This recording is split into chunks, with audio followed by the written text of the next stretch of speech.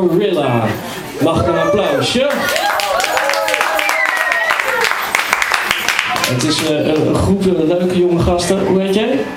August, August. En kan je de rest even voorstellen? eh, dat is Arthur, dat is Roderick, dat is Philip en dat is Tilman. Ja, applausje mensen.